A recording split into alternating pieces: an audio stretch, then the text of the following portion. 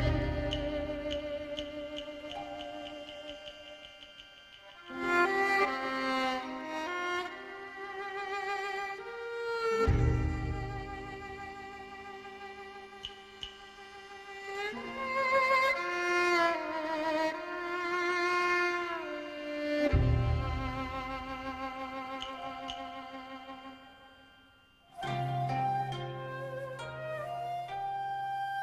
の方は私を抱きしめながらこんな風にささやいたことがあります。